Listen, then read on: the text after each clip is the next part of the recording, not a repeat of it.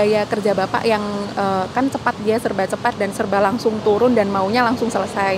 Nah, itu mungkin yang bisa dirasakan langsung oleh masyarakat. Jadi kalau misalnya ada laporan jalan atau laporan uh, apa tentang kesehatan, kemudian tentang COVID-19 gitu dia langsung uh, terjun untuk melihat dan juga nanti melakukan koordinasi di sini kemudian nanti diterjunkan lagi ke dalam program-program yang langsung menyas, menyasar masyarakat lagi seperti itu. Ya?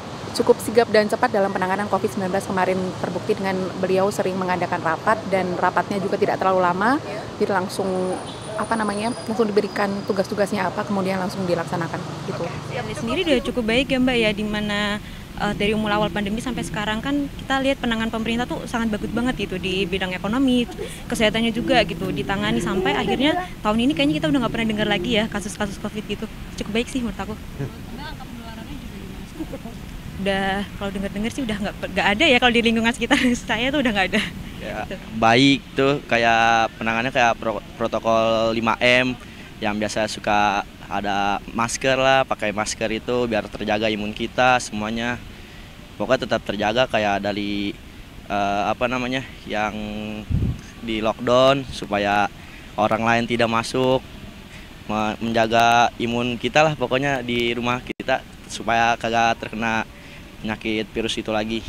Kalau dibandingin sama yang sekarang, ini sekarang kondisinya ngeliatnya gimana mas?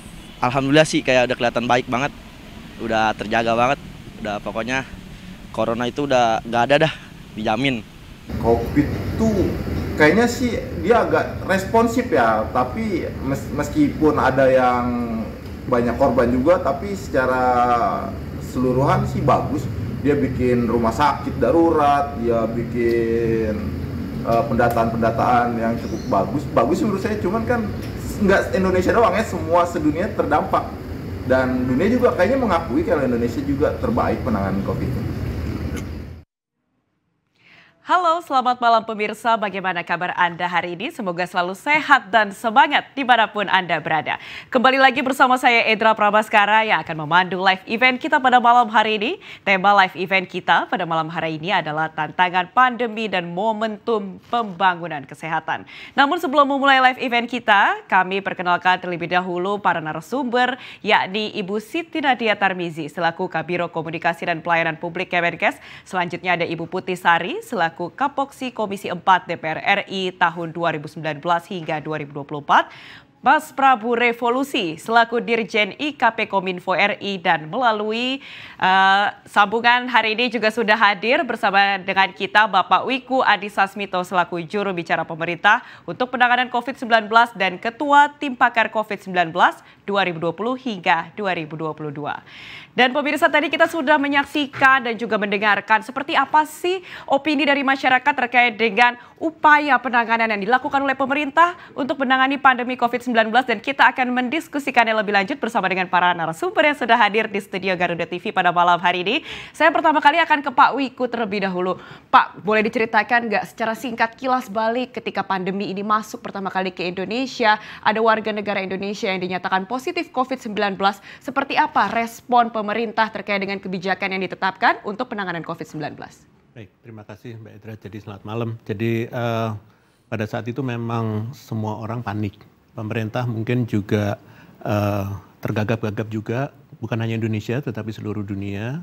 Dan dengan adanya warga yang mulai tertular, kemudian ada warga Indonesia yang harus kembali dari Cina ke Indonesia, itu juga menimbulkan masalah yang besar, tetapi dengan kerjasama lintas sektor dan kepemimpinan Presiden Jokowi untuk menggerakkan TNI, terutama TNI AL pada saat itu untuk memasukkan para uh, masyarakat Indonesia yang dari Cina di Natuna sehingga ada proses transisi sebelum mereka bisa kembali ke rumahnya masing-masing. Itu pada saat awalnya. Hmm. sehingga dengan demikian uh, mulai penyiapan dari tata kelola pemerintahan yang ada untuk sebagai satgas atau gugus tugas pada saat awalnya untuk bisa merespons uh, dengan baik karena pergerakan dari kerjasama lintas sektor. Hmm, Oke, okay. ini sebenarnya penyebarannya seperti apa sih? Mungkin bisa dijawab oleh Ibu Siti. Penyebaran mulai dari pertama kali masuk di karantina di Natuna, kemudian seperti apa peta penyebarannya di Indonesia? Iya, mohon maaf nih suaranya agak iya, iya.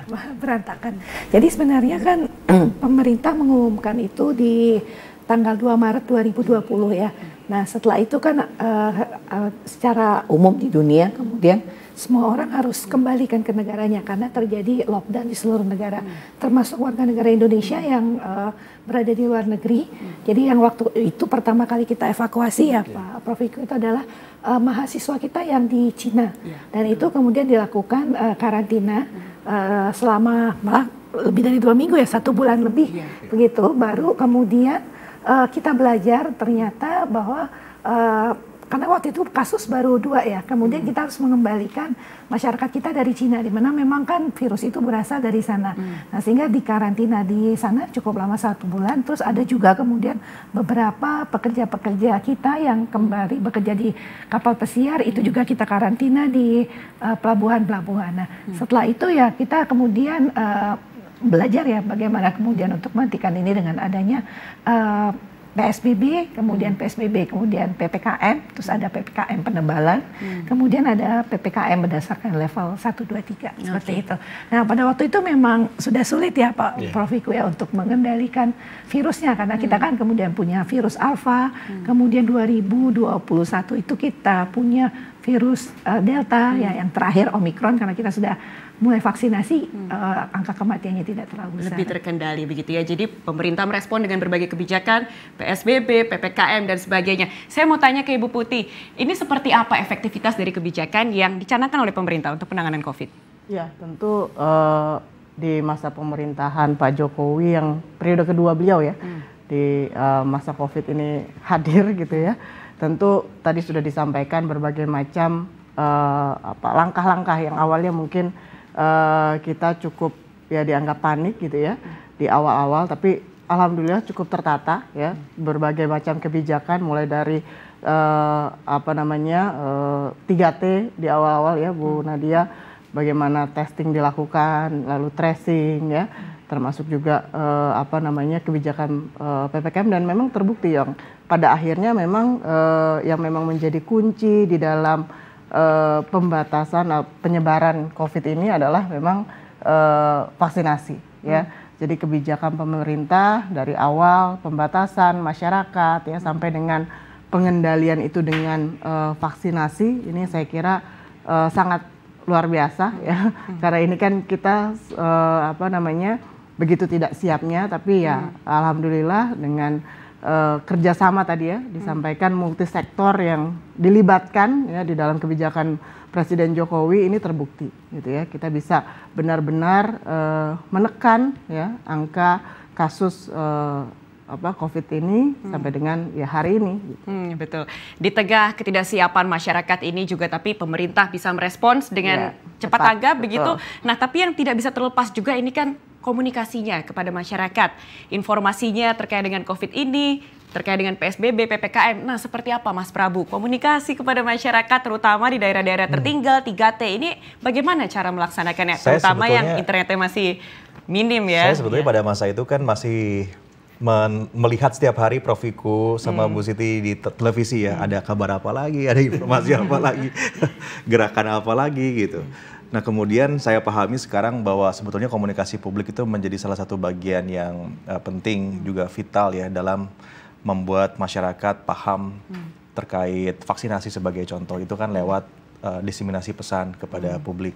Hmm. Banyak yang saat itu kan masih takut juga Bu ya hmm. vaksin hmm. gitu. Betul. Kita uh, edukasi dan seterusnya. Hmm. Tambah lagi juga gerakan untuk uh, mulai dari kamu kalau tidak salah ya Bu ya gerakan pertama mulai itu kan uh, cuci tangan uh, cuci tangan apalah mm -hmm. itu itu kan semuanya lewat pesan uh, publik ya mm -hmm. lewat komunikasi publik.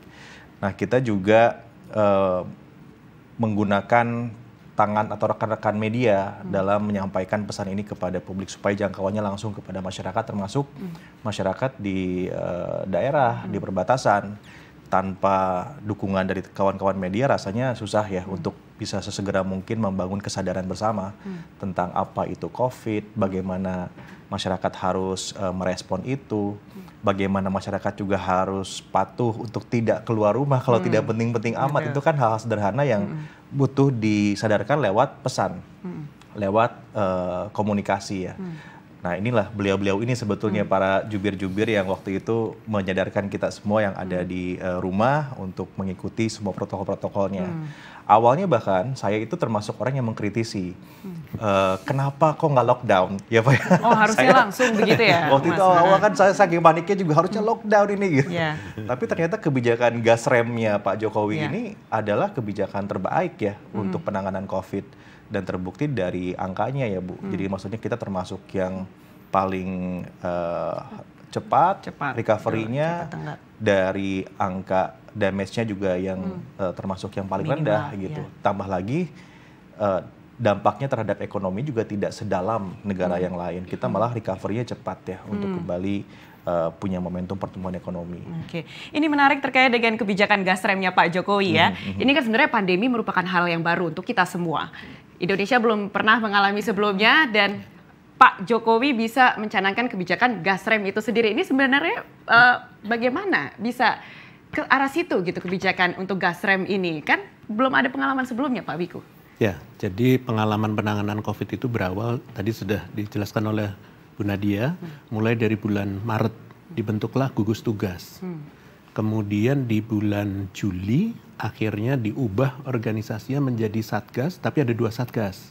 Satgas penanganan COVID dan Satgas pemulihan ekonomi nasional di bawah KPCPEN dengan membernya ini eh, para menteri di lintas sektor, Menko, menteri di lintas sektor termasuk kepala BNPB.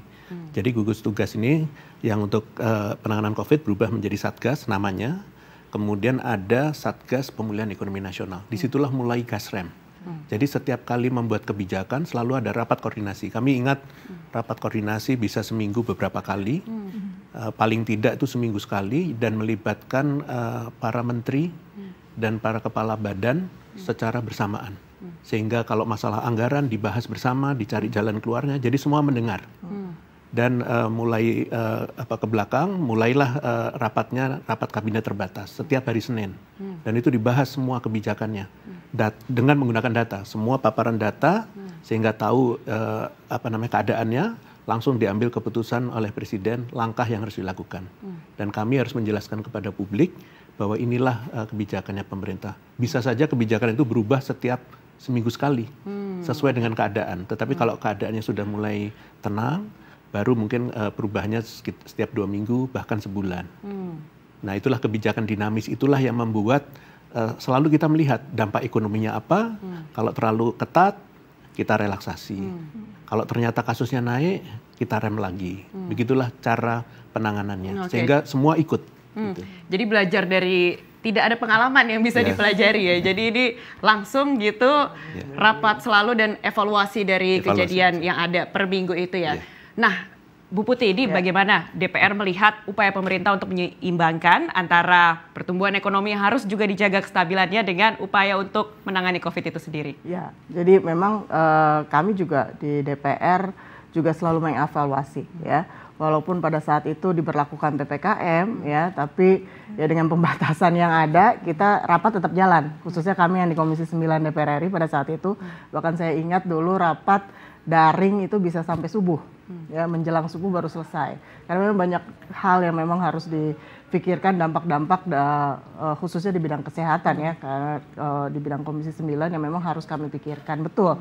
Nah selain itu juga memang betul tadi bagaimana eh, dampak-dampak yang lain. Karena memang tidak hanya terkait kesehatan tapi juga sosial pendidikan ya ekonomi bahkan eh, agama peribadahan kan juga itu juga berdampak gitu. Jadi kita eh, pada saat itu kebetulan saya juga di badan anggat di badan anggaran, saya ingat betul pemerintah langsung menganggarkan 405 ya kalau nggak salah 405 triliun di tahun di awal di 2020 eh, untuk eh, alokasi bagaimana penanggulangan eh, COVID ini. COVID-19.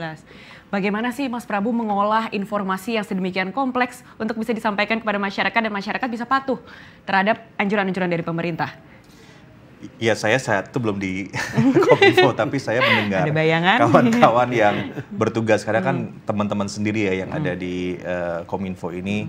Kemudian mereka menceritakan saat-saat eh, masa-masa itu uh, yang penting sebetulnya uh, soliditas ya hmm. dari teman-teman uh, Kominfo bersama teman-teman media. Hmm, karena okay. media juga termasuk industri yang paling terdampak hmm. ya dikarenakan uh, adanya COVID ini. Hmm. Saya ingat tuh di masa-masa itu tuh layoff ya hmm. dari uh, teman-teman media karena saya juga sempat mengalami kawan-kawan saya. Tetapi kemudian pemerintah uh, lewat KCP Pen hmm. justru menghidupkan ekonomi media gitu hmm. dengan melakukan uh, diseminasi lewat media itu ya. Akhirnya hmm. uh, industri media ini bisa selamat juga. Hmm. Saya nggak membayangkan kalau saat itu tidak ada uh, anggaran ya yang diserap oleh media. Barangkali hmm. sekarang media yang masih tersisa tinggal berapa gitu ya. Hmm. Tapi adanya formulasi ya. Hmm. Uh, anggaran untuk kesehatan berapa, untuk ekonomi berapa, hmm. termasuk juga di dalamnya adalah untuk media berapa, itu yang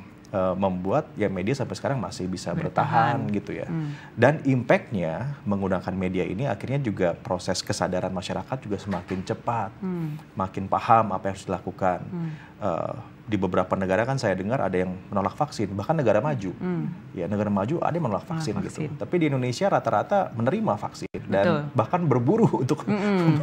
mendapatkan vaksin. Betul. Itu kan pentingnya komunikasi iya, agar masyarakat iya, bisa menerima bahwa iya. vaksin inilah yang kita butuhkan. Betul, betul, iya. betul. Itu yang saya sempat ini ya. di Covid ini hmm. saya sempat uh, bertugas di Kementerian Parekraf waktu hmm. itu ya sebagai staf khusus. Hmm. Uh, dan berusaha untuk melakukan vaksinasi untuk pekerja uh, pariwisata. Hmm uh, saking uh, susahnya dapetin vaksin, begitu dapat vaksin, wah itu masyarakatnya berburu. Jadi hmm. di kita ini agak berbeda nih.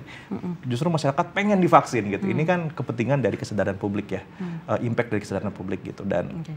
uh, sekali lagi, uh, saya sih sangat mengapresiasi pemerintahan saat itu hmm.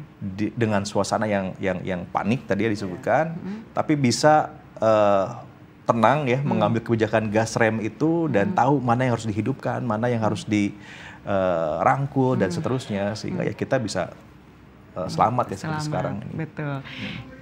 Bu Siti, dari awal uh, pandemi masuk, kemudian berbagai kebijakan dicanangkan sampai akhirnya masyarakat harus mendapatkan vaksin. Sampai dengan saat ini ada empat kali ya, dua vaksin primer dan juga dua booster. Itu seperti apa prosesnya? Ya, jadi um, kembali ya bahwa kenapa kemudian Indonesia tadi disampaikan hmm cepat keluar dari pandemi, vaksinasi hampir 200 juta orang, hmm. hampir uh, eh, 600 juta dosis vaksin kita sudah suntikan. Yang pasti dari semua ini adalah balik lagi ya, uh, siapa pemimpinnya. Kalau kita lihat leadership dari Pak Jokowi pada waktu pandemi itu benar-benar di depan, ya hmm. Prof Iku ya. Jadi beliau betul-betul memimpin rapat, beliau mendapatkan semua asupan dan beliau memutuskan. Jadi saya hmm. pikir itu adalah kuncinya ya bahwa uh, bahkan kasus pertama pun diumumkan oleh beliau. Hmm. Bahkan beliau juga uh, menyampaikan ya situasi kalau kemudian kenapa nih kebijakan dari PSBB berubah hmm. jadi PPKM berubah karena kan kita juga sempat dibilang ya pemerintah tidak konsisten gitu hmm. belum selesai dilaksanain udah dirubah lagi hmm. kebijakannya tapi tadi berkat juga tadi bersama-sama dengan hmm. Kominfo pada waktu hmm. itu Kominfo dengan FMB hmm. sambilnya itu FMB menjadi uh, jadi broadcast ke mana-mana yeah, ya yeah, yeah. jadi dari situlah teman-teman media kumpul kemudian semua keputusan pasca ratas itu disampaikan di sana sehingga hmm. benar-benar kita satu kata ya kalau hmm. saya sampaikan karena hmm. dan uh, dan juga informasi itu menjadi satu jadi saya pikir hmm. itulah prosesnya termasuk juga pada waktu kan nggak mudah mencari vaksin ya Bu Putih ya, ya. uangnya ada belum tentu vaksinnya, vaksinnya ada, gitu, ada. Ya, kan, gitu. harus impor dari iya, mana itu betul. itu betul. juga tantangan nah, tapi uh, artinya bagaimana Pak Jokowi menggerakkan semua uh, kementerian termasuk gimana Bu Retno hmm. uh, dari uh, sebagai Menteri Luar Negeri hmm. melakukan negosiasi hmm. di luar negeri untuk bisa mendatangkan vaksin ke hmm. kita. Jadi hmm. itu juga salah satu. Jadi memang bukan cuma Kementerian Kesehatan, tapi memang hmm. semua sektor jalan atas leadership beliau. Oke, diskusinya alot nggak, Pak Wiku? Uh, diskusinya alot hmm. karena memang awalnya uh, kita tidak biasa dalam kegiatan rutin untuk berkolaborasi. Hmm. Hmm. Dengan adanya COVID, selalu ada rapat koordinasi melalui Zoom dan semua ditanya satu-satu. Hmm. Jadi mengungkapkan data kalau datanya beda ya hmm. ya langsung dibicarakan di situ. Okay. Hmm. Solusinya langsung di situ. Okay. Bahkan secara internasional pun kita juga menjadi sorotan hmm. dan Bu Menlu langsung mengatakan misalnya salah satu contohnya dengan pihak Australia. Mereka ya. merasa bahwa kasusnya berasal dari Indonesia dan menunjuk Indonesia. Betul. Maka sampai perlu 11 kali konferensi pers internasional Untuk kami bisa. bersama dengan Bu Menlu dan satu menteri lagi hmm. bergantian untuk menyampaikan pada publik apa yang Indonesia lakukan. Oke, baik. Jadi ini itu, iya. itu upaya bersamanya Upaya di bersama. dalam maupun keluar. Betul, butuh sinergi dari semua pihak ya untuk penanganan COVID ini. Diskusinya masih akan kita lanjutkan, tapi kita harus jeda terlebih dahulu pemirsa. Tetaplah bersama kami di live event Legacy Satu Dekade Jokowi untuk Indonesia.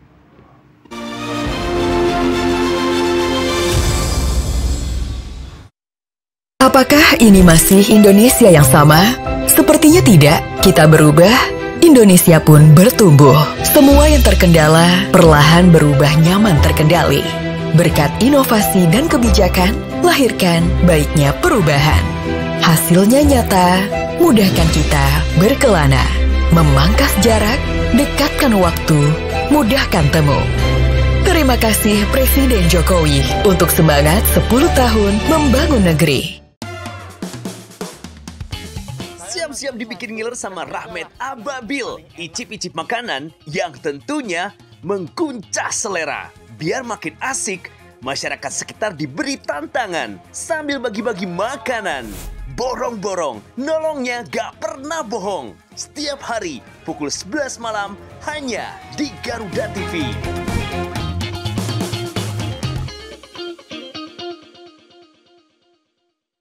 Apakah ini masih Indonesia yang sama? Sepertinya tidak. Kita berubah, Indonesia pun bertumbuh. Semua yang terkendala perlahan berubah nyaman terkendali. Berkat inovasi dan kebijakan, lahirkan baiknya perubahan. Hasilnya nyata, mudahkan kita berkelana. Memangkas jarak, dekatkan waktu, mudahkan temu.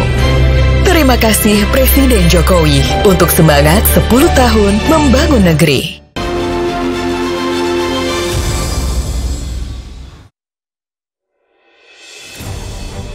Sejak awal pandemi COVID-19 melanda, pemerintahan Presiden Joko Widodo telah mengambil berbagai langkah strategis untuk menanggulangi penyebaran virus di Indonesia.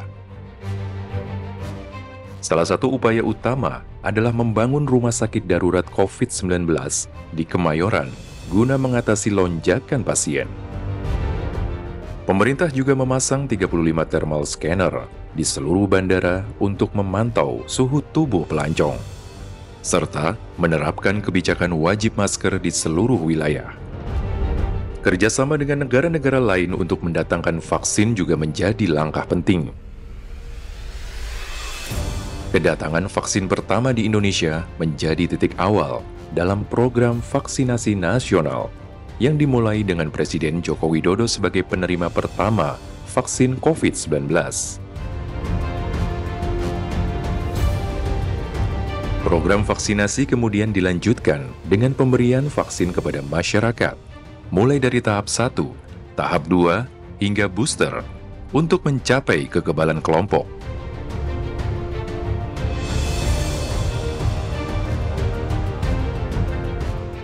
Pemerintah terus berinovasi dan berkolaborasi dengan berbagai pihak, baik dalam negeri maupun internasional, guna memastikan penanganan pandemi berjalan efektif dan mempercepat pemulihan di berbagai sektor. Iya pemirsa baru saja kita saksikan video singkat terkait upaya pemerintah Presiden Jokowi untuk mengatasi COVID-19. Kita akan melanjutkan dialog kita pada malam hari ini ke Pak Wiku terlebih dahulu. Pak, ini bagaimana sih koordinasi antara pemerintah pusat dengan daerah untuk penanganan COVID ini terutama untuk pendistribusian vaksin? Ya, baik. Jadi uh, tantangan utama uh, hubungan pusat dan daerah hmm. itu adalah kesamaan dalam data hmm. dan terkait dengan waktu. Hmm bukan hanya kaitannya dengan vaksin, hmm. tetapi juga pada saat awalnya uh, dengan kasus. Hmm. Kasusnya ini berbeda antara laporan di daerah dan di pusat, hmm. tetapi dalam waktu nggak terlalu lama, di sekitar tiga bulan, hmm. akhirnya menjadi satu data, hmm. sehingga semua informasi sama, hmm. real time, interoperable, jadi semua hmm. bisa sama. Begitu juga dengan vaksin. Hmm. Jadi vaksin itu datang, didistribusikan ke mana, berapa yang sudah disuntikkan, itu selalu dilaporkan dan tidak ada dispute, tidak ada perbedaan pandangan dengan di daerah.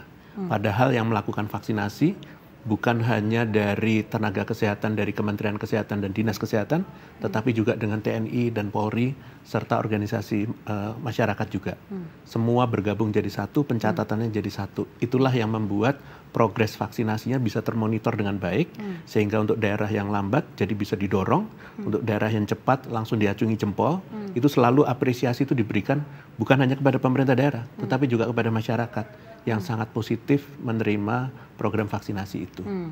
Dan itu pun dibahas oleh pemerintah bersama sebelum melakukan vaksinasi. Hmm. Betul nggak ini aman? Hmm. Jadi tanya dengan semua pakar untuk memastikan bahwa langkahnya hmm. adalah langkah yang terbaik untuk penyelamatan. Hmm. Berarti koordinasi antara pemerintah pusat dengan daerah ini berjalan dengan cukup efektif begitu ya untuk pendistribusian vaksin itu sendiri. Yeah. Kalau dari DPR dari Komisi 9 sendiri Ibu Putih melihatnya seperti apa efisiensi dari pendistribusian vaksin? Ya, memang kami kawal terus gitu ya bagaimana uh, efektivitas vaksin ini bisa berjalan ya termasuk tentunya distribusi menjadi satu hal yang penting ya. Bagaimana kesiapan daerah uh, apa namanya tidak hanya dalam melakukan tapi tentu juga sarana dan prasarananya. Kita pastikan betul bahwa kecukupan uh, tempat penyimpanan uh, vaksin ya cold chain di masing-masing hmm. uh, rumah sakit dan juga puskesmas hmm. di daerah itu kan sangat penting jangan sampai tentunya kualitas mutu dan keamanan dari hmm. vaksin ini uh, menjadi berubah gitu setelah proses distribusi sehingga tentu akan membahayakan masyarakat nantinya. Nah ini yang kita uh, apa namanya pastikan betul pemerintah hmm. bisa menjalankan hal tersebut dan betul um, memang melibatkan lagi kembali lagi tidak hanya uh, apa namanya dari sektor pemerintah saja yang melakukan hal hmm. tersebut, tapi memang ya kembali ini gotong royong lah ya. Hmm. Ada organisasi masyarakat, kami juga di DPR, kebetulan DPR juga membentuk iya. Satgas yeah. waktu itu hmm. di bawah kepemimpinan Wakil Ketua DPR Pak Profesor Sufmi Dasko Ahmad itu juga turut ya kita uh, beberapa kali mengadakan pertemuan dengan kementerian, lembaga, bahkan gabungan pengusaha dan kelompok-kelompok masyarakat juga hmm. untuk bisa sama-sama mensosialisasikan pentingnya vaksin ya uh, untuk juga mendorong masyarakat mau melakukan uh, vaksinasi itu juga hmm. saya kira menjadi kunci juga di dalam uh, pelaksanaan vaksinasi COVID. Gitu. Hmm, Oke, okay. jadi memang harus ada sinergi dari semua pihak begitu yeah. ya uh, untuk pendistribusian pendistribusian vaksin itu sendiri. Dan seperti apa sih uh, Mas Prabu? Jika kita mempertanyakan banyak kan ini masyarakat yang menyampaikan apa sih sebenarnya kandungan vaksin? Hmm. Kemudian uh, tadi juga disampaikan gimana cara memastikan vaksin itu tetap sama begitu ya kandungannya dari yang pertama sampai yang terakhir. Ini cara mengedukasi masyarakat sampai dengan ke daerah kalau memang vaksin itu adalah hal yang diperlukan hmm. ini seperti apa? Yang pertama sebetulnya dari perspektif publik ya uh, momentumnya adalah ketika Pak Jokowi yang pertama kali divaksin. Hmm, Oke, okay. itu adalah simbol Gambar, ya. Gambar simbol bahwa seorang presiden hmm. divaksin hmm. untuk pertama kalinya itu menurut saya ya uh, faktor terbesar masyarakat percaya pada vaksin. Hmm, okay. Ya, karena presidennya sendiri gitu loh, divaksin. dengan protokol kesehatan yang begitu ketat mau divaksin gitu. Hmm. Lalu kemudian ada beberapa tokoh-tokoh lain yang juga divaksin. Hmm. Nah ke daerah itu sebetulnya ini menggunakan uh, konsepsi komunikasi gatekeeping ya. Jadi kita hmm. membutuhkan tokoh-tokoh masyarakat, pemengaruh di daerah hmm. yang juga kita dekati hmm. untuk memberikan uh, hmm. apa namanya afirmasi positif ya hmm. kepada masyarakat tentang apa itu vaksin dan kenapa vaksin itu diperlukan. Hmm. Nah biasanya kan di daerah itu uh, profil masyarakatnya percaya kepada tokoh hmm. ya kepada tokoh masyarakat tokoh hmm. agama hmm. Uh, kepada kepala keluarga ya uh, apa namanya kekerabatannya rasa gotong royongnya masih sangat hmm. tinggi hmm. nah itulah yang kita rangkul hmm. untuk menjadi bagian dari uh, proses komunikasi publik kepada masyarakat agar vaksin diterima dengan baik oleh uh, masyarakat. masyarakat. Kuncinya berarti dari presidennya sendiri mm -hmm. berani untuk divaksin. Ini seperti apa sih Bu Siti pertimbangannya ketika Pak Jokowi akhirnya memutuskan untuk oke okay, dari harus dari saya dulu vaksin baru kemudian yang lain dan masyarakat. Ya, uh, saya rasa karena situasi ya, hmm. artinya memang perlu tadi uh, kepemimpinan beliau bahwa uh, beliau tahu bahwa masyarakat ragu-ragu karena hmm. ini vaksinnya baru ya kan. Hmm. Jadi mau tidak mau beliau yang harus maju di depan untuk memberikan contoh hmm. dan ternyata uh, cukup tadi sampaikan Mas Prabu ya bahwa ini betul-betul mengubah persepsi masyarakat hmm. bahwa yang sekelas presiden aja mau jadi yang pertama beliau yang pertama ya Prof Iku ya Betul. ini vaksin memang waktu itu ada 10 kalau nggak salah ya yang hmm. uh, kita tapi beliau yang pertama kali disuntik. Nah, hmm. pola itu kemudian nyambung mungkin bagaimana koordinasi kita di daerah. Pola itu yang kita lakukan juga di daerah.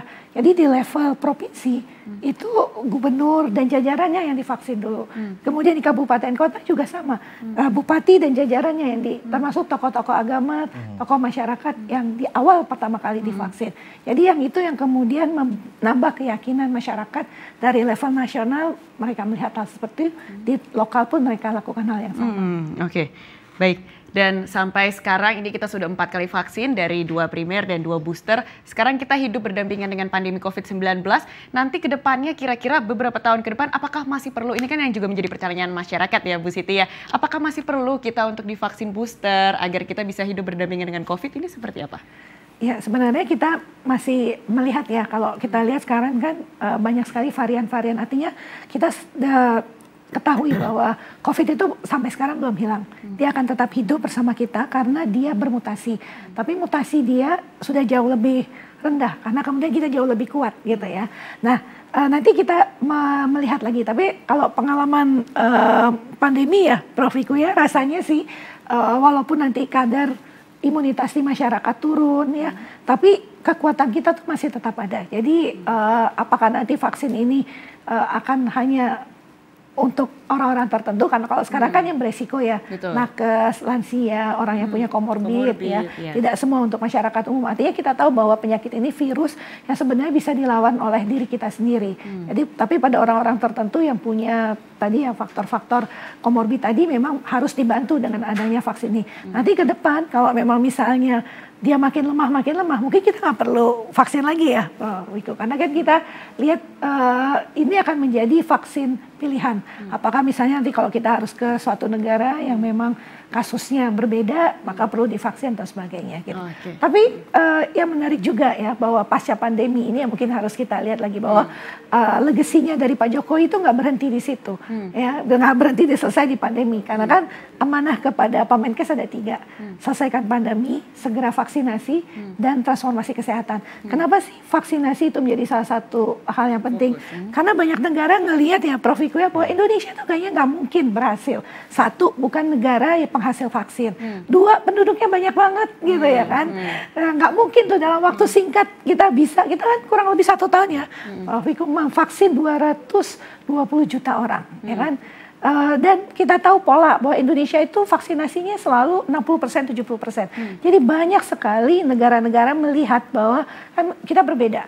Kalau kita bandingkan Cina, hmm. dia memang punya pabrik vaksinnya walaupun penduduknya banyak. India, India juga sama, dia vaksinnya pakai vaksin yang mereka produksi sendiri. Hmm. Nah Indonesia sebagai negara ketiga terbanyak hmm. sangat diragukan oleh negara-negara luar. Hmm. Nah itu yang sebenarnya uh, menjadi kunci bagaimana hmm. beliau juga uh, melihat bahwa bagaimana Indonesia betul-betul uh, bisa memainkan peranan dan hmm. tadi nggak nggak jadi negara yang terlambat Terlambat yang membuat dunia betul. pandemi ini menjadi uh, tidak bisa kita selesaikan. Ya, memang tujuannya untuk membentuk herd immunity ya.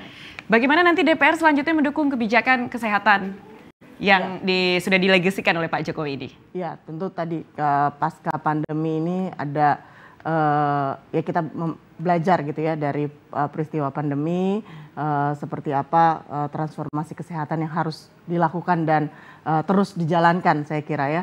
Uh, tadi ada beberapa hal uh, transformasi kesehatan baik dari sisi ketahanan kesehatannya ya bagaimana kita bisa uh, apa namanya uh, memberdayakan hmm. ya industri kesehatan dalam negeri ya uh, karena kan kemarin kita belajar hampir sebagian besar itu kita sangat-sangat tergantung ya hmm. terhadap produk impor ya di alat kesehatan dan lain sebagainya termasuk juga bagaimana kita melanjutkan tentunya uh, transformasi di bidang teknologi kesehatan hmm. ya Tuh. teknologi kesehatan ini menjadi penting kemarin dengan adanya PSBB PPKM ini kan uh, semua uh, sistem kesehatan ini rujukan juga menjadi uh, apa namanya berlandaskan uh, teknologi ya dengan uh, telemedicine ya yang saya kira ke depan juga pasti akan berkembang dan saya kira ini perlu juga untuk kita uh, apa namanya uh, terus kembangkan juga ya di dalam negeri sehingga ke depan ya tadi ketahanan kesehatan bagaimana derajat kesehatan masyarakat ini bisa terus kita tingkatkan hmm. gitu loh. Betul. Ini seperti apa sih selanjutnya, Mas Prabu? Literasi yang perlu dilakukan oleh masyarakat untuk menghadapi potensi kebencanaan seperti pandemi ini. Hmm. Sekarang kan sudah tahu prosesnya seperti apa kan, tapi harapannya ke depan masyarakat harus lebih siap dan juga hmm. tanggap begitu. Seperti apa literasi yang bisa dilakukan? Mungkin sedikit aja ya, saya uh, sempat hadir di beberapa forum internasional hmm. di mana kepala negara hadir ke Indonesia dan saya mendengarkan bagaimana uh, pujian ya dari kepala negara lain terhadap kepemimpinan Pak Jokowi menghadapi pandemi dan itu selalu disebutkan ya bagaimana mereka belajar dari Indonesia. Saya sih mengusulkan agar kepemimpinan Pak Jokowi di pandemi ini bisa masuk ke buku sejarah ya. Jadi salah satu chapter gitu untuk dipelajari oleh uh, anak bangsa kita bahwa kepemimpinan itu menjadi bagian penting dari sebuah usaha transformasi termasuk juga transformasi kesehatan yang menjadi PR berikutnya nih ya setelah kita melewati uh, pandemi. Uh, jadi saya pikir kita mesti membangun dari masyarakat sendiri lewat literasi tentunya ya masyarakat sekarang harus literasi untuk hidup sehat hmm. ya kadang-kadang sekarang kita abai ya, hmm. ya cuci tangannya udah lupa nih sekarang hmm, betul karena udah ngerasa kuat Rasanya gitu ya. sudah selesai ya pandemi tapi kan belum begitu ya betul terus yang kedua tentunya ya uh, kesehatan uh, apa kebijakan di kesehatan hmm. polisinya juga harus kita sama-sama uh, dukung ya agar transformasi kesehatan ini bisa betul-betul terwujud di Indonesia. Hmm. Catatan dari uh, Ibu Putri tadi benar juga hmm. ya kemarin uh, mungkin karena dengan kepemimpinan yang kuat walaupun sebagian besar kita import ya yeah. kita masih bisa berhasil.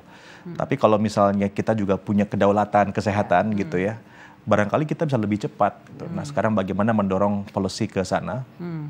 Uh, di pemerintahan Prabowo Gibran berikutnya tentu yang kita harapkan juga bisa bisa mandiri lah secara uh, apa namanya kedaulatan kedaulatan kesehatan. Hmm, Oke, okay. terkait dengan kedaulatan seperti apa nih Pak Wiku nantinya ke depannya upaya yang harus dilakukan oleh pemerintah untuk membentuk kedaulatan kesehatan di era Prabowo Subianto dan juga Gibran Raka Buming Raka tapi jangan dijawab dulu, kita harus jeda terlebih dahulu.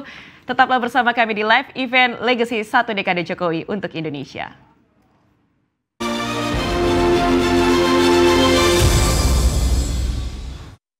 Apakah ini masih Indonesia yang sama? Sepertinya tidak. Kita berubah, Indonesia pun bertumbuh.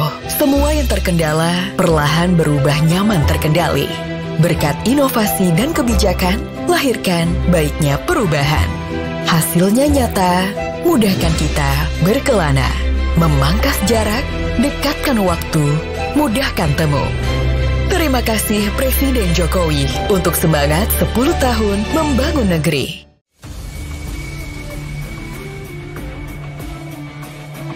Jelajah rahasia yang belum terungkap seputar teknologi militer. Temukan fakta unik dan menarik di balik alutsista yang paling canggih. Saksikan di balik senjata setiap hari pukul 7 pagi hanya di Garuda TV.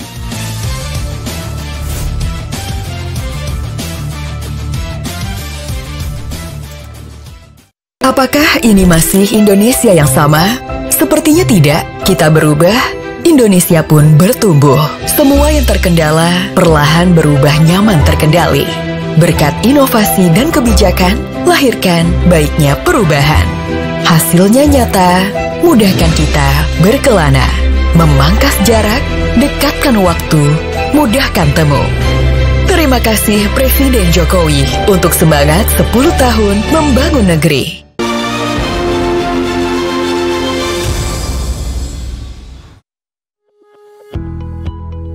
Presiden Joko Widodo telah menerima berbagai penghargaan atas kontribusinya dalam memimpin upaya penanggulangan pandemi COVID-19 di Indonesia.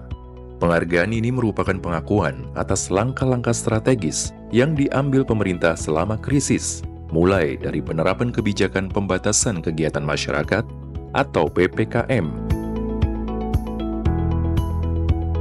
kampanye wajib masker, hingga program vaksinasi massal yang dimulai dengan Jokowi sebagai penerima vaksin COVID-19 pertama di Indonesia.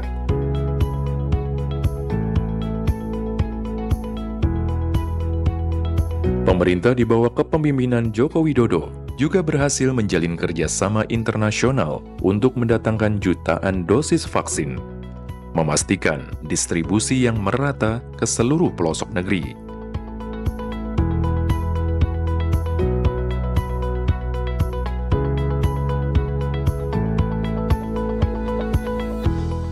Selain itu, Presiden Jokowi aktif memberikan himbauan kepada masyarakat melalui berbagai media, menekankan pentingnya penerapan protokol kesehatan dan percepatan vaksinasi.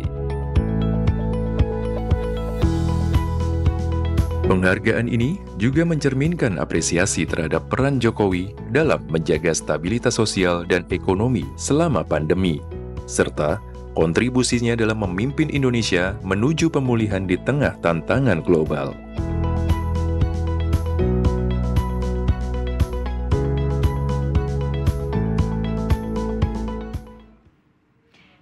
Ya pemirsa baru saja kita saksikan video singkat terkait penghargaan yang diterima oleh Presiden Jokowi terkait kontribusi atasi COVID-19. Kita akan lanjutkan dialog kita pada malam hari ini. Tadi disampaikan oleh Pak Wiku terkait dengan bagaimana rencana program pemerintah untuk mencapai kedaulatan kesehatan ini bisa disampaikan secara singkat dulu Pak. Baik, jadi kedaulatan kesehatan di Indonesia itu belajar dari pandemi. Pada saat itu kita sulit untuk mendapatkan oksigen, mendapatkan vaksin, dan beberapa alat kesehatan maka cara yang paling baik ke depan dan kita masih tergantung ada beberapa hal yang bahan impor, hmm. maka ke depan untuk pemerintahan uh, Prabowo Gibran adalah meningkatkan kemandirian terhadap vaksin, obat, dan alat kesehatan selama lima tahun. Hmm. Sehingga kalau sampai terjadi katastrofik seperti hmm. pandemi ini, hmm. kita bisa melindungi rakyat kita dan bahkan juga bisa membantu negara lain hmm. supaya tidak menjadi masalah besar di dunia. Hmm ini butuh proses yang panjang juga, tapi sampai sejauh ini Pak Jokowi sudah menerima sejumlah penghargaan terkait dengan penanganan COVID-19 itu sendiri. Apa saja uh, penghargaan yang sudah diterima dan bagaimana pemerintah memaknainya? Ya, salah satu penghargaan yang kami lihat pada saat itu kepada Presiden Jokowi yang langsung disampaikan oleh UN Deputy Secretary hmm. General hmm. pada saat penyelenggaraan uh, eh, GPDRR, Global Platform for uh, uh, risk reduction hmm. yang berada di Bali pada bulan Mei 2022 di tengah COVID. Hmm. Ada 8.000 orang datang dan akhirnya disampaikan oleh uh, eh, UN Deputy Secretary General Amina Mohamad disampaikan bahwa uh, Presiden Jokowi telah memimpin vaksinasi dari 270 juta orang Indonesia dengan remarkable, hmm. sesuatu yang sangat baik hmm. dan itu dihargai di tengah-tengah COVID yang masih melanda dunia. Hmm. Itu adalah penghargaan yang tertinggi dari menurut kami dalam penanganan COVID dari UN. Hmm. Dan itu itu achievement bukan hanya untuk presiden tapi itu adalah untuk seluruh rakyat Indonesia yang dipimpin oleh beliau. Hmm, Oke. Okay. Ya. DPR sendiri bagaimana memaknainya dari Komisi 9 penghargaan ya. yang diterima oleh Pak Jokowi? Ya memang kalau kita melihat kan satu dekade uh, kepemimpinan Pak Jokowi ini uh, banyaklah Eh, prestasi-prestasi uh, yang memang sudah beliau jalankan gitu ya di dalam pembangunan kesehatan itu sendiri ya tapi memang puncaknya di dalam penanganan pandemi Covid ini ya yang memang menjadi salah satu pembuktian hmm. gitu ya di dalam kepemimpinan beliau yang begitu tanggap ya ter, dengan segala perhitungannya saya kira ya tanggap dengan uh, segala perhitungan yang uh, sudah dijalankan uh, ya dibantu dengan tentunya menteri-menteri beliau gitu ya.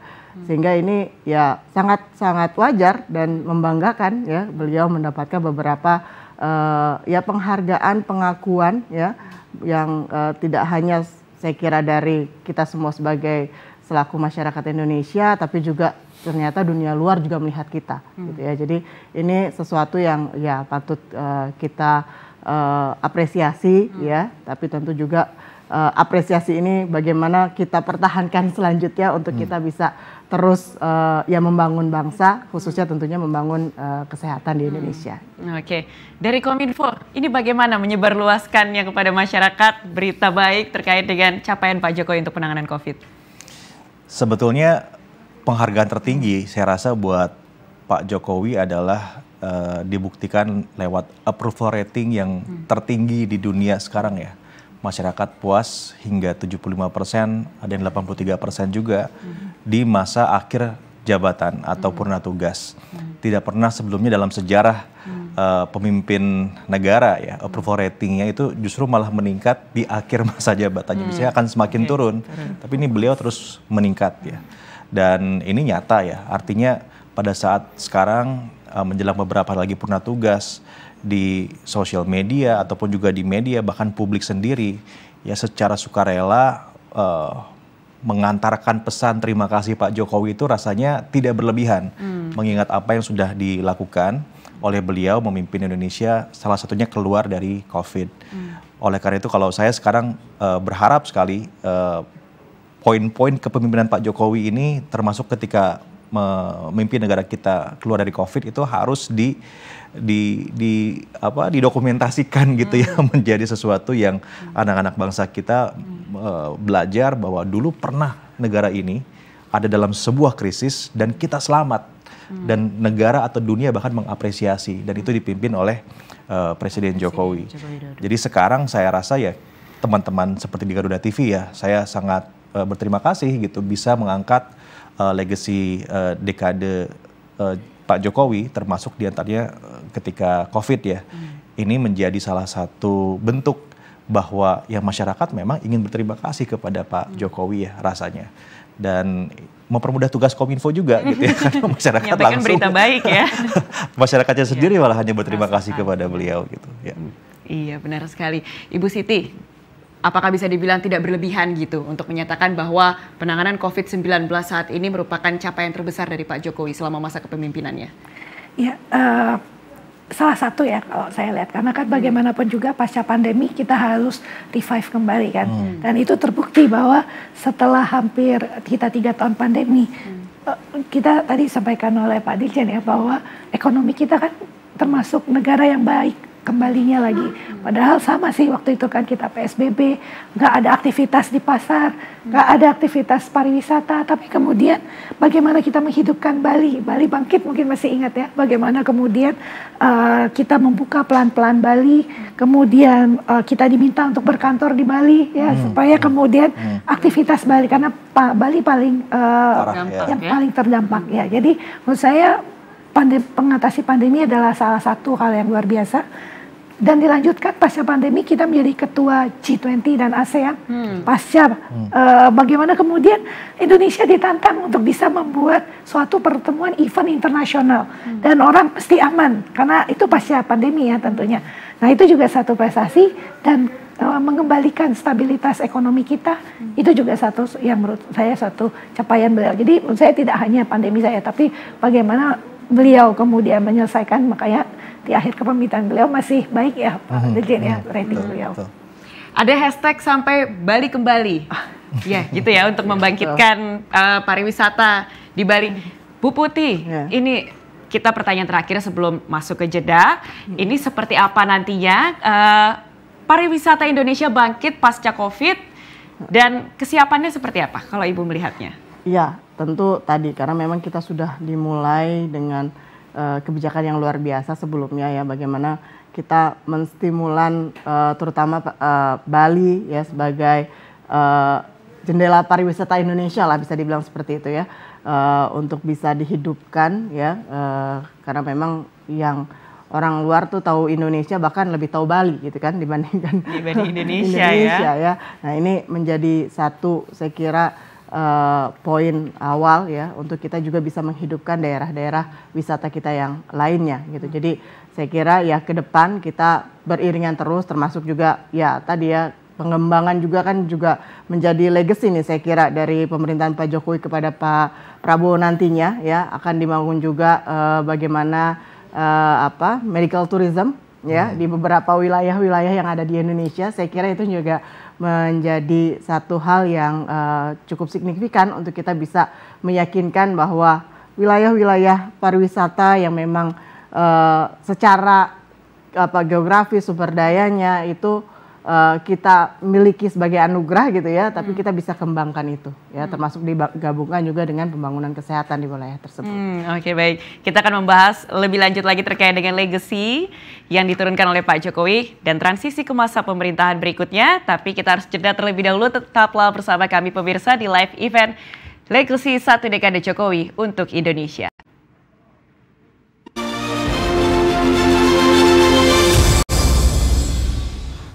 Apakah ini masih Indonesia yang sama?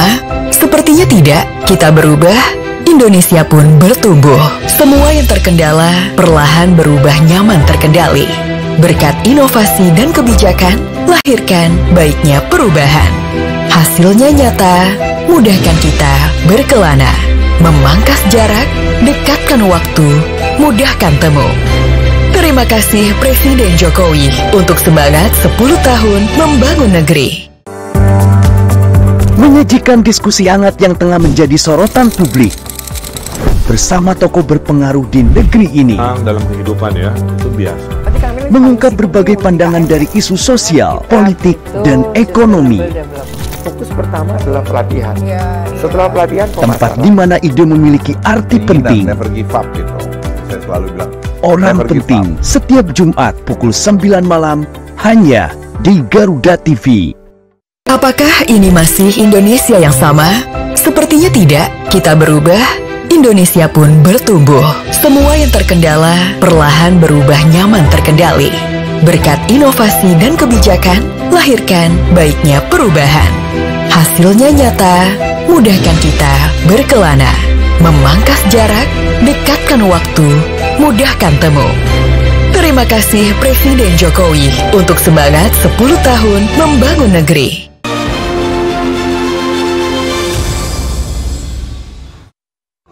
Kerja sama Pak Jokowi nggak sampai lima tahun ya, tiga tahun sembilan bulan. Iya, Pak. Dan saya melihat kepemimpinan beliau dalam menangani COVID ini luar biasa.